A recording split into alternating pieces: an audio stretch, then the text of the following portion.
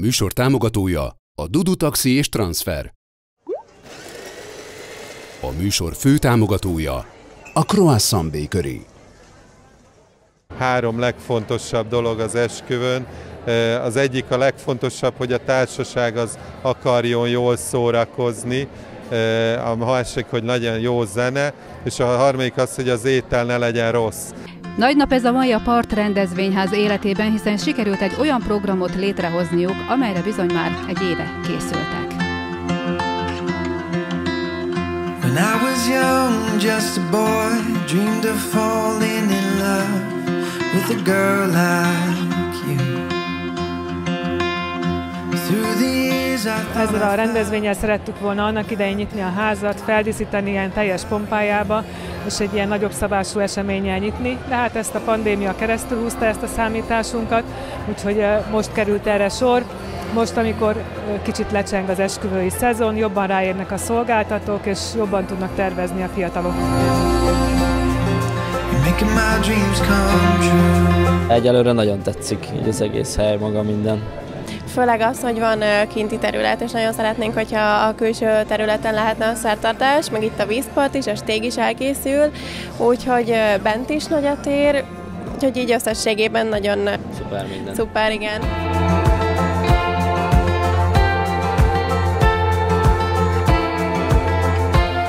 Szerettem volna valami, valami újat behozni Mosómagyaróvár és környékére, és szeretném, hogyha a partrendezvényház egy nagyon-nagyon sikeres rendezvényház lenne, és az ország minden tájáról érkeznének szolgáltatók, itt szeretnék a párok rendezni az esküvőiket. Nagyon nagy örömmel tölt el bennünket, hogy ez egy üres paletta tulajdonképpen, ez a nagyon modern, gyönyörű épület, amiben mindenféle stílust, szint, bele lehet vinni, és igazából fókuszba helyezzük a menyasszonyt, elmondja az ő vágyait, a kéréseit, és ez a terem pedig maximálisan ki tudja azt szolgálni. Szerettem volna azért az óváriaknak is ezt megmutatni, hogy milyen szolgáltatók veszik őket körbe, viszont szerettem volna ugye az ország legnépszerűbb szolgáltatóit is ugye elhozni, de mind a kerekasztal beszélgetés, mind a Landeszkatinak az előadása, hogy lássák hogy egy profi szemmel is, akik díjnyertes szolgáltatók,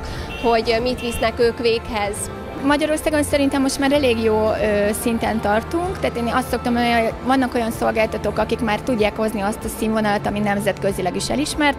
A dekorosaink is ugyanolyan dekorációkat készítenek, mint amik mondjuk az amerikai képeken vagy a Pinteresten láthatóak.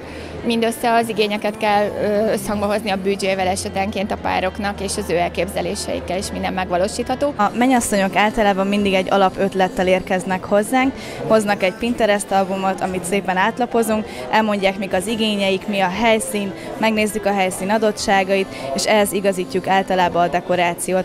Én mindig próbálok arra törekedni, hogy a mennyasszonyaim és az ő párjaiknak a stílusa, az egyedisége, az egyénisége visszaköszönjön valahogy az esküvőbe. Nem csak a legtehetősebb párok engedhetik meg maguknak az esküvős szervezőt, hanem szinte mindenki, aki nem nagyon pici családi esküvőről gondolkodik, és ez belefér a büdzsébe, illetve szerintem jó, ha belefér a büdzsébe, mert nagyon sokat tud segíteni, és nagyon sok költéstől vagy plusz költéstől megvédi a párt, és akkor esetenként vissza is tér ez a költség. Minden palettát szeretnénk felvonultatni, a kultúrától a konferenciákig minden, de ez egy szegmens, amire be kell mutatni a házat, ez az a korosztály, akiknek nincsen emléke róla, a fogalmuk sincs, tehát be kell vezetni egy új fogalmat, mint partrendezvényház.